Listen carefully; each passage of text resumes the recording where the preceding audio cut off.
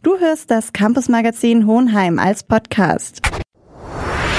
Horaz 886, das Campus-Magazin der Uni Hohenheim. Ja, hallo ihr Lieben. Heute wieder mit dem Campus-Magazin Uni Hohenheim. Wir haben jetzt 16.07 Uhr und begrüßen euch im Studio sind Katrin und Melanie heute. Hey. Hallo. Melanie, was haben wir denn in der ersten Sendestunde? Ja, also heute ist mal wieder Zeit für Bennys Rock'n'Roll Duden.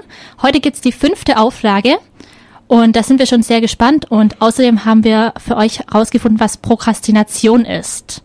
Also ich weiß es noch nicht, ich bin mal sehr gespannt. Ich kenne das Wort auch nicht, aber wir werden ja dann gleich erfahren, was das ist.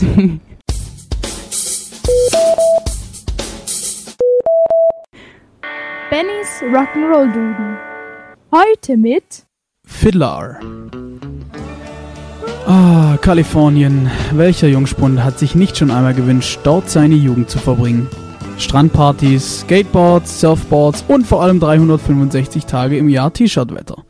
Man munkelt aber auch von äh, kultivierteren Vertretern der Jugend, denen beim Stichwort Kalifornien nicht sofort Bier aus roten Plastikbechern in den Händen williger College Girls einfällt. Die denken dann wahrscheinlich als erstes an die kalifornische Musikszene, die schon seit über 100 Jahren bekannte Künstler und Bands hervorbringt. Story. Eine der aktuell aufstrebenden Jungbands heißt Fiddler und kommt aus Los Angeles. Gespielt wird Garage Punk mit einer großen Prise trinkseliger Selbstironie und vor allem verhalten Surf-Sounds. Das Garage bedeutet übrigens, dass der Sound sich eher nach Proberaum als nach Hochglanzstudio anhört. Die Band gibt's seit 2009 mit Zach Carper und Elvis Kuhn je an Gitarre und Vocals, sowie Brandon Schwarzel an Bass und Vocals und Max Kuhn an den Drums. Beim Southside Festival vor ein paar Wochen brachten Fiddler schon um 12 Uhr mittags High Noon die Menge mit ihren poppigen Punk-Songs zum Kochen. Der Bandname kommt übrigens aus der Skaterpoesie und bedeutet so viel wie Fuck it dog, life's a risk. Anspieltipps. Bisher haben die Buben drei EPs und seit diesem Jahr auch ihr Debütalbum am Start. Und wären die Beach Boys Punk gewesen, vermutlich hätten sie wie Fiddler geklungen. Textlich schenken die beiden Bands sich nicht viel, da auch bei den Beach Boys Mädchen und Rausch im Vordergrund standen. Ich will sehen, nackte. Die EPs und das Album enthalten echte Ohrwürmer, die aber bei aller Poppigkeit immerhin clevere Breakdowns und Geschwindigkeitswechsel bieten.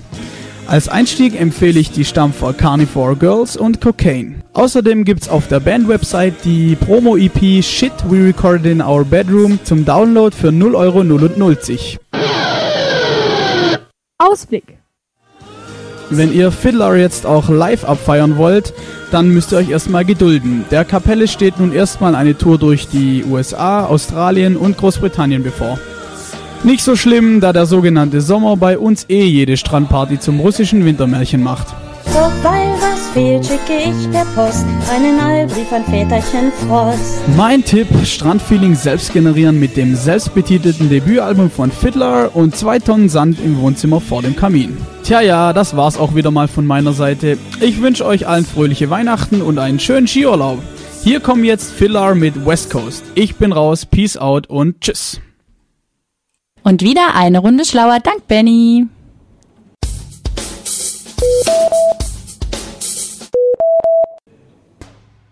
Hi, my name is Jack, and I don't know if Horaz is a German word for potatoes or what. Horaz. Wir senden Zukunft.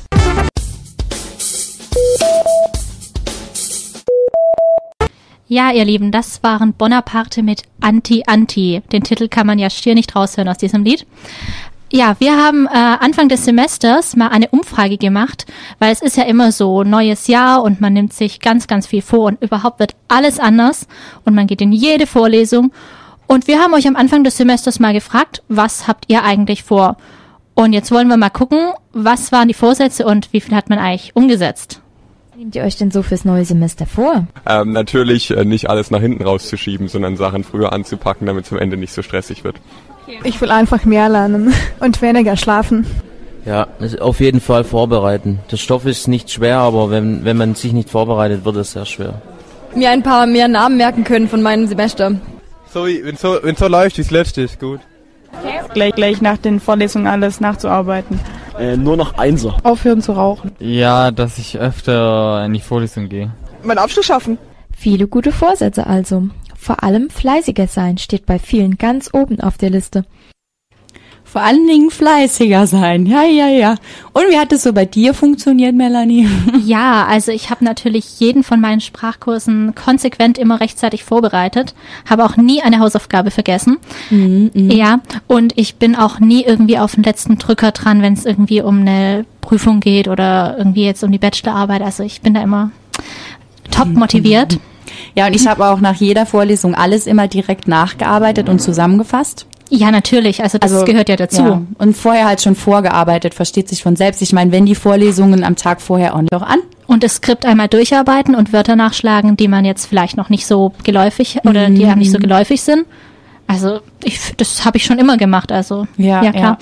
Dieses Semester hat es total toll geklappt. Ich finde vor allen Dingen, wenn das Wetter dann so schön ist nach der ewigen Regenzeit, da ist man auch super motiviert dafür. Ja, Also- strahlt einfach die Motivation von innen heraus, wenn man sich denkt, so ja, und jetzt, wenn doch jetzt die Sonne so schön scheint, dann nutze ich die Zeit, um endlich mal wieder mein Skript durchzublättern. Dieses Semester habe ich so kurz vor den Klausuren angefangen zu lernen, wie noch nie zuvor. Ich weiß auch nicht, irgendwie war da überhaupt keine Zeit und so eine, hm, weiß noch nicht, wann ich anfangen soll, Einstellung.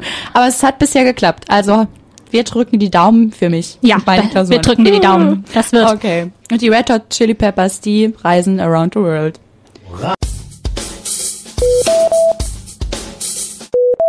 Das Campus-Magazin der Uni Hohenheim.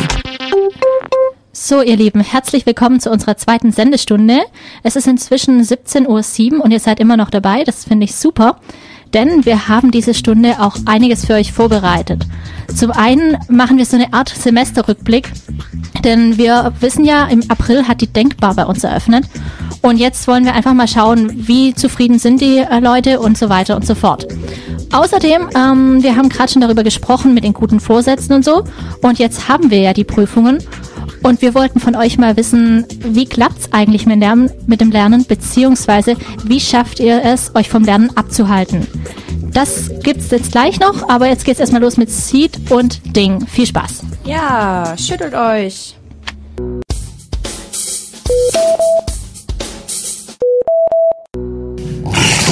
Campus Safari. Ja, wir haben es ja eben schon angekündigt. Wir machen wieder einen kleinen Denkbar-Rückblick. Die Denkbar hat ja erst vor ein paar Monaten eröffnet und sie hat am Montag eine erste Bilanz erzogen auf einer kleinen Feier in einem kleinen Rahmen. Schauen wir mal, was da so gesagt wurde. An diesen Semesters wurde es endlich wahr. Das von vielen Studenten lang erwartete Café Denkbar öffnete auf dem Hohenheimer Campus seine Türen. Wir haben damals vom Eröffnungstag berichtet und auch mit Betriebsleiterin Nadja Betzler gesprochen. Wir sind überwältigt, ja, und, und auch überrascht, dass wir wirklich um 7.45 Uhr die Tür aufgesperrt haben und es kamen Leute rein zum Frühstück. Das ist bald drei Monate her. Die Denkbar ist nun keine Neuheit mehr, sondern gliedert sich langsam in das Campusleben ein. Ob es ihr gelungen ist, ein fester Bestandteil des Uni-Alltags zu werden? Geschäftsführer Philipp Nicklich zieht für uns bei der offiziellen Eröffnungsfeier am vergangenen Montag Bilanz. Also das Fazit, was wir bis jetzt ziehen konnten in den drei Monaten, sind wir sehr zufrieden. Wir sprechen sowohl die Studenten als auch die beiliegenden Dörfer, Dürkach, Blieningen, alle mit an. Wir werden gut angenommen. Das Konzept der Denkbar, Café, Restaurant, Bar und Lounge unter einem Dach zu vereinen, scheint zu funktionieren. Deshalb legt das Team der Denkbar aber noch lange nicht die Füße hoch. Für die Zukunft haben sie noch einige Ideen im Kopf, erzählt Philipp Nicklich. Wir wollen für die Studenten bestimmt noch so Happy Hours auch mal einführen, dass da einfach mal so ein Cocktailabend, ein gemütliches Zusammentreffen wollen wir irgendwie machen. Also auf jeden Fall auf die Studenten auch noch mehr eingehen. Ein Happy Hour, das käme sicher einigen Studis entgegen. Wir dürfen also auf das nächste Semester gespannt sein. Auch der bestehende Service. Ja, und hier noch kleine Schwierigkeiten, wo eventuell etwas länger gewartet wird, wie zur Mittagszeit, wenn die Stoßzeit ist. Probieren wir auch zu verbessern auf jeden Fall. Mittagessen in der Denkbar und dann trotzdem noch pünktlich zur Vorlesung kommen. Das Denkbar-Team tut alles dafür, ihre Position als Alternative zur Mensa auch im nächsten Semester auszubauen. Stefan Dabbert, Rektor der Uni Hohenheim, war bei der Eröffnungsfeier am Montag ebenfalls zu Gast und zeigte sein Wohlwollen für das neue Campuscafé. Der Name hat ja auch vielfältige Bezüge zur Universität. Man könnte ja geradezu sagen, denken, das ist unser Business. Und insofern, vieles ist denkbar an der Universität, aber es ist eben auch doch denkbar, die denkbar zu besuchen. Jo, und jetzt gibt's Maya Boy, passt jetzt nicht so ganz zum Thema, aber wir hören's trotzdem.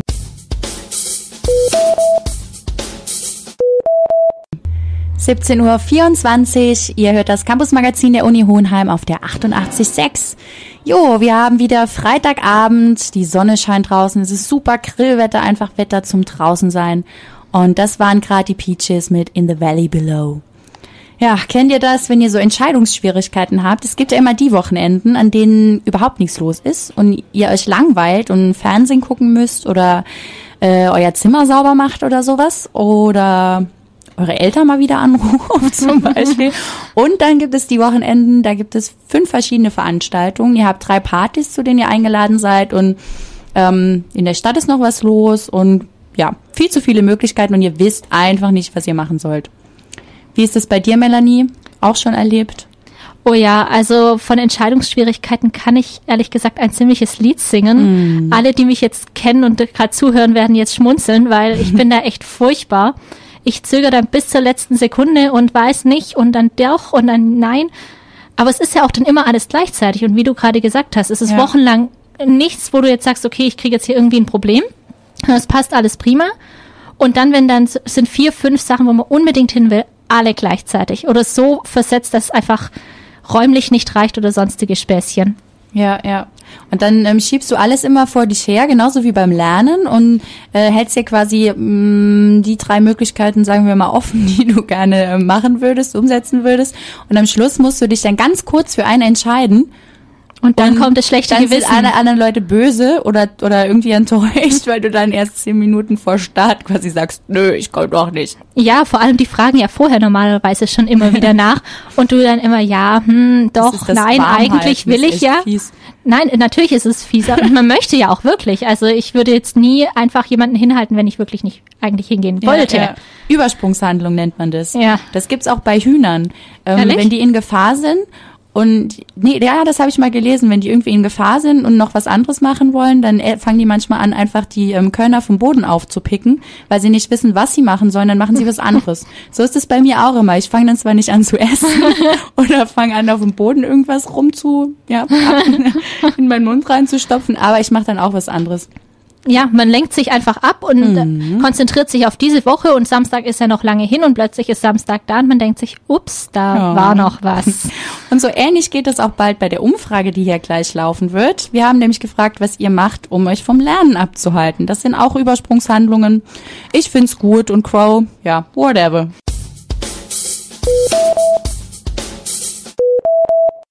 Ja, um mich vom Lernen abzulenken, äh, höre ich nebenher meistens ein bisschen Musik oder auch ähm, abends oder ich schaue abends ein bisschen Fernsehen. Dabei kann ich auf jeden Fall dann entspannen, ja. Ich gehe raus oder lese was, aber ich muss gerade nicht lernen, von daher. Mein Gott, ich gehe ganz viel Kaffee trinken mit Freunden. Fernsehen schauen, Filme anschauen, keine Ahnung, also mit Freunden irgendwo ausgehen. Ich schaue ganz viele Artikel bei Wikipedia nach. Ich finde da voll die interessanten Sachen auf einmal die ich eigentlich sonst ziemlich langweilig fände. Und ja, und ich schaue mir auch so Blödsinn im Fernsehen an. Um mich dann abzulenken, ja, dafür müsste ich erstmal anfangen. Nein, aber ich mache eigentlich Sport. Ganz viel Sport. Gar nichts, wir sind doch hier zum Lernen. Das ist nicht schwer, ich weiß nicht, es passiert einfach irgendwas. Ich treffe Freunde, trinke Kaffee, räume mein Zimmer auf. Fernsehen gucken, an die frische Luft gehen. Ich schaue fern und spiele am Computer oder ja, irgend sowas. Irgendwas Mediales. Musik hören, Freunde treffen, weggehen, Kaffee trinken. Ja, das sind doch jetzt relativ gute Möglichkeiten. Ich würde mal sagen, da habe ich die ein oder andere Idee mitgenommen. Ja, ja, ja. Doch, also das eine oder andere könnte man durchaus noch irgendwie einbauen in die Ideenliste. Und ich würde sagen, da denke ich jetzt mal noch drüber nach. So lang äh, könnt ihr Nirvana hören mit Smells Like Teen Spirit. Viel Spaß. Riecht nach Teen Spirit, ja.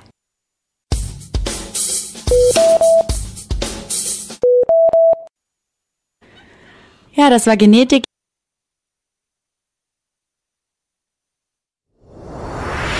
Horaz 886, das Campus-Magazin der Uni Hohenheim. Ja, es ist auch schon wieder soweit. Wir haben fünf vor sechs und deshalb ist das Campus-Magazin schon wieder zu Ende. Das Campus-Magazin, ich habe heute Sprachfehler, liebe Leute, bitte, bitte Es ist. Freitagabend, da entschuldigen wir doch alle. Ja, und ich habe heute Morgen schon eine Klausur geschrieben. Okay, das entschuldigt noch mehr. Sind das dann Findungsfehler in meinem Wortschatz, die entstehen können? Ja, die zwei Stunden sind schon wieder vorbei. Wir hoffen, äh, ihr seid jetzt ein bisschen informierter und auch gechillter fürs Wochenende. Und jo, ähm, nächsten Freitag gibt's die letzte Sendung vom Campus Magazin. Dann verabschieden wir uns schon wieder, weil wir natürlich auch mal anfangen müssen zu lernen. Ähm, und die Sendung ja immer sehr viel Arbeit bedeutet für uns. Und ja, im nächsten Semester sind wir natürlich wieder total am Start und wir hätten gerne, dass da noch ein paar mehr Leute bei uns mitmachen. Also falls ihr Interesse habt natürlich. Ähm, wir treffen uns dann wieder wie immer in unserem Raum und werden es nochmal anteasern. Und ja, nur auf der 88.6 oder einfach live online streamen. Ist wahrscheinlich besser. Da gibt's übrigens auch eine Webcam und hier sind immer ganz, ganz hübsche, tolle Menschen im Studio, die ab und zu komische Verrenkungen machen. Wenn ihr aber das mal sehen wollt. Es ist immer ein kurzes Standbild, also ihr habt da vermutlich echt Spaß. Ja, ja. Vor allen Dingen, wenn man gerade so komisches Gesicht gezogen hat, ist es super. Dass es vier Sekunden dran ist. Kriegst, Ey, guck doch mal nicht so blöd. Äh, okay. ja, wir hören jetzt noch die Fantastischen Vier und dann wünschen wir euch ein schönes Wochenende. Das waren Melanie und Katrin. Schönes Wochenende. amigos. Das war das Campus Magazin Hohenheim als Podcast. Mehr Infos zur Sendung unter facebook.com slash campusmagazin. Horaz. Campus, das Magazin.